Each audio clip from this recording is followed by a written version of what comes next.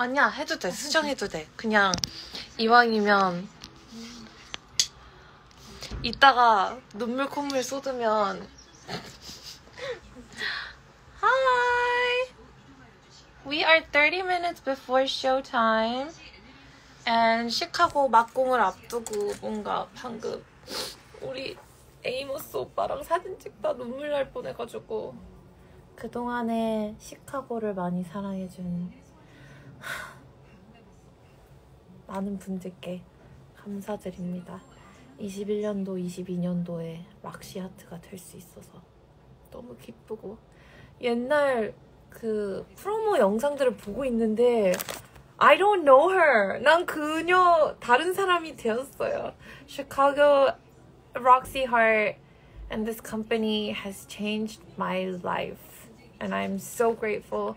Chicago fans have changed my life. 유나도 들어왔네. 근데 진짜 어떻게 어떻게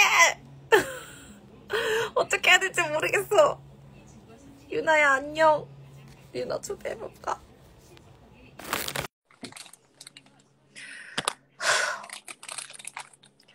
아, sometimes I'm right, sometimes I'm wrong, but he doesn't care. He'll string along 누구세요? 네, 어, 나 이제 마지막으로 마이크를 하면 됩니다. 아니 괜찮아 우리 라이브 하는데 내가 막공이니까 이런 여유가 생기는 거지 우리 팀 질러 네.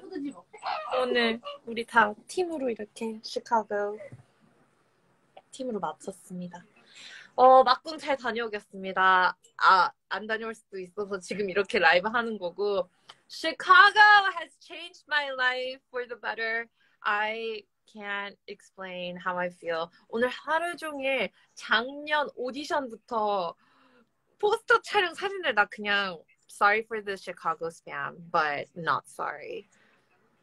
Everybody have a wonderful day. Be safe, be careful, and all that jazz. Everybody.